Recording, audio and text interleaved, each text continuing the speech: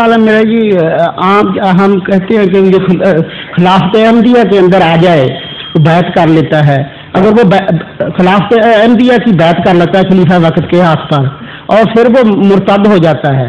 ہم اسے مرتد کہتے ہیں۔ اسی طرح خلیفہ حضرت محمد مصطفیٰ صلی اللہ علیہ وسلم کے خلیفہ آخری حضرت علی کرم اللہ وجہ کے ہاتھ پر جنہوں نے بیعت ہی نہیں کی بلکہ ان کے ساتھ جنگ کی تو اسے کیوں نہیں مرتد کہا جاتا؟ اس لیے کہ مرتد وہ ہوتا ہے جو خود اپنا تعلق دین سے اور بیت سے کاٹ دے۔ سمجھے جی؟ جی جہاں تک ان لوگوں کا تعلق ہے جو حضرت عثمان حضرت علی کے زمانے میں پیدا ہوئے ان کی اگر آپ تاریخ پڑھیں تو الزام یک طرفہ نہیں ہے۔ جی۔ بلکہ بعض الزام اس طرف پڑھتے ہیں بعض اس طرف پڑھتے ہیں۔ جی۔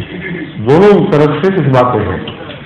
خدا تعالیٰ انسان کو اس کے دل کے حالات اور اس کے دماغ کی استطاعت کے مطابق جانچے گا۔ اور ہمیں نہ دلوں کے حالات کا علم، نہ دماغ کی طاقتوں کا علم، نہ نیتوں کی خبر۔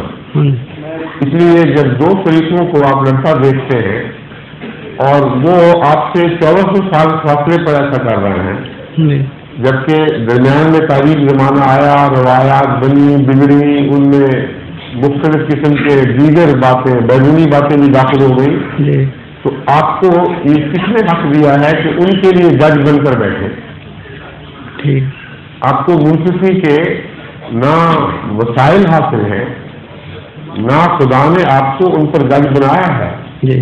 جو ان کا جج ہے اس کے حضور کو دربار میں داخل حاضر ہو چکے ہیں۔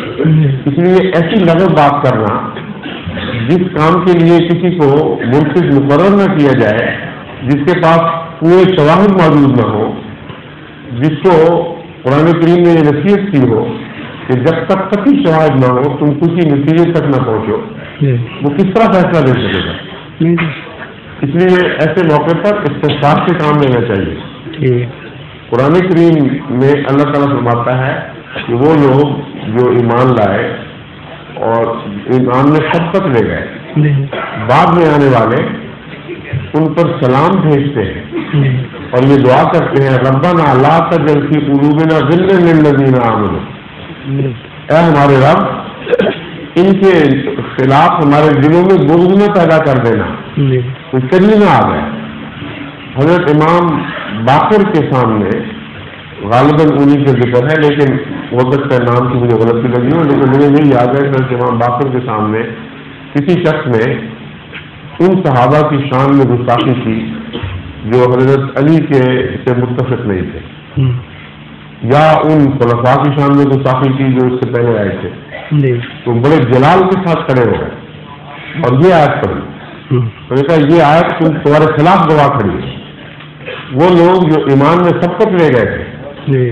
ان کے لیے تمہیں یہی حکم ہے کہ یہ دعا کرو اے خدا ہمارے دل میں ان کے لیے ہل اور کبھی اور کینا نہ پیدا ہونے دے ٹھیک اور آپ یہاں بیٹھ کے اس کے بھی تیرہ سو سال کے بعد یا اس سے زیادہ یہ سوال کرتے ہیں کہ ہم کس طرح ان کے فیصلے کریں۔ آپ کو فیصلے کی مقرر ہی نہیں کیا آپ علم سے اختیار کریں۔ یہ موقف لیں کہ اللہ بہتر جانتا ہے۔ جہاں تک ہمارا تعلق ہے ہم سے پہلے جو ایمان لائے ایمان میں قربانیاں کی۔ جی۔ اگر کسی نے غلطی کی تو اللہ تعالیٰ اس کو معاف فرمائے۔ جی۔ اس سے زیادہ ہمیں کوئی فیصلہ دینے کا حق حاصل نہیں۔ ٹھیک ہے۔ جزاکم اللہ ظہور مہدیے